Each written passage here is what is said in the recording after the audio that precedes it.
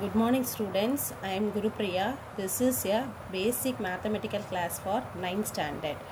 Today we have to see that very basic method sign clarification of basic operations like addition, subtraction, division, multiplication. In this video contains only two flowchart. This flow flowchart explains sign clarification of addition and subtraction, multiplication and division. We move on to your first flowchart. This flowchart explains addition and subtraction sign rule. Whatever sum is given in the addition and subtraction sums, first we suggest the sum contains same sign or different sign. First we suggest the sum contains same sign or different sign. If the sum contains the same sign, you will do this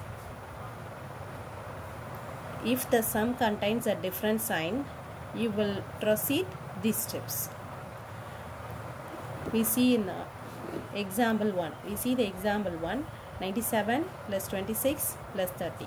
These three numbers contain same sign. That sign is a plus. That means addition subtraction sum contains the same sign means first you do it add the numbers so i can add 7 plus 6 13 1 9 plus 1 10 10 plus 2 12 12 plus 3 15 your second step is put the same sign. So here plus is the same sign. So i will put plus. Therefore the answer is plus 153 whatever sum is given in the addition and subtraction first we will suggest the sign is the same sign. Then we will add a number to the same sign we move on to your next example. See the example 2 minus 97 minus 26 minus 30 these three numbers contain same sign minus. That means we will proceed these two steps. First add the numbers and put the same sign. First you add the numbers. 7 plus 6 13 1 9 plus 1 10 10 plus 2 12 12 plus 3 15 so minus it's the same sign. That sign is minus so I will put a minus sign. So this is for your first thing. Whatever sum is given in the addition and subtraction first we will suggest the sign is the same then we will proceed these two things. First you must add the numbers and put the same sign. Next we move on to second thing different sign. Suppose the sum contains a different sign. First we subtract the numbers and put the greater number sign so move on to your example 3 82 plus 36 minus 22 these three numbers haven't same sign. It have a two numbers have a same sign. One number is a different sign. That means this sum contains a different sign. First we gather in same sign numbers. That means 82 and 36 have the same sign. So same sign means first we will add 2 plus 6 8 8 plus 3 11 that same sign is plus. So your answer is 118 82 plus 36 combine 118 minus 22 that means 118 is positive 22 is negative. So 1 plus sign 1 minus sign. Therefore this number contains a different sign.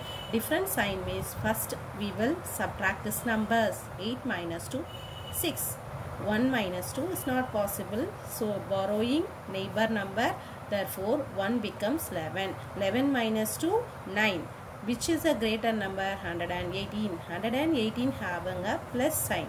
Therefore your answer is plus 96 therefore 82 plus 36 minus 22 is equal to 96 next we move on to your example 4 see the question? Minus 82 minus 36 plus 22 these three numbers contains different sign. Therefore first we gather in same sign numbers. That means minus 82 minus 36 have a same sign. So if you have a same sign you will add it. 2 plus 6 8 8 plus 3 11 it's the same sign as minus. So I will put minus.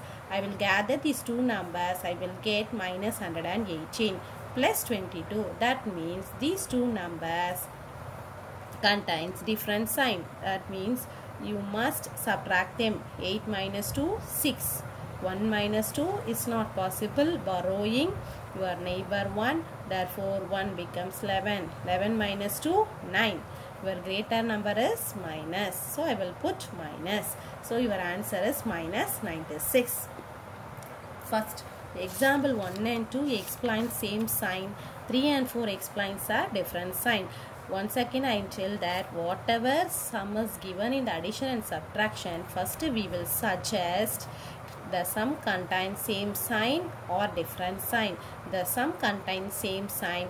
You will add the numbers and put that same sign. The sum contains a different sign. You will subtract first and put the greater number sign. This is for your addition and subtraction sign clarification. Next we move on to multiplication and division addition and subtraction I will give a homework for you. These five sums you will add and sub do your class notebook. Next we will move on to your multiplication and division. This flowchart explains sign clarification of multiplication and division whatever sum is given in your multiplication and division sum first we will suggest its same sign or different sign. The sum contains same sign you will put the plus sign. You will put the plus sign. The sum contains different sign you will put the minus sign. And your sum is multiply you are multiply. Your sum is divide you divide. Move on to your example 1 see this 56 into 2 56 is plus 2 is a plus. It have a same number. Therefore your answer is same number. 2 6 are 12 1 reminder 5 2s are 10 10 plus 1 11 therefore your answer is 112 56 divide 2 so 56 divided by 2 5 in 2 table 2 2s are 4 5 minus 4 1 6 16 2 8s are 16 that means 0 so 56 divided 2 is equal to 28 all the sums you are multi multiply and divide and you are notice that your sign is important. If the same sign you will put plus it's a different sign you will put minus. 56 into 2 112 56 divided to 28 both are same sign so I will put plus sign. Next we move on to our example 2 Example 2, 56 into 2 you multiply 112 and is a minus sign, it's a plus sign, it's a different sign that means you will put minus. It's a minus, it's a plus, it's a different sign so you will put minus.